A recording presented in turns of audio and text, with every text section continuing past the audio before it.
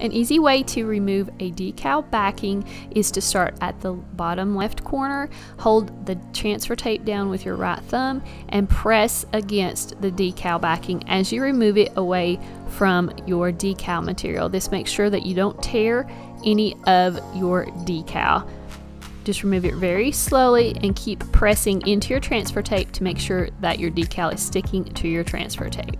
To place your decal, always start in the middle and slowly drop the decal in a straight line across your surface. You can burnish your decal using your fingers or a burnishing tool such as a credit card. And to remove the transfer tape, I start at one corner, holding the transfer tape flat and just remove it along the entire length of the decal. Don't lift up on your transfer tape, always keep it flat. So I hope this video helps you in placing your decals purchased from our shop.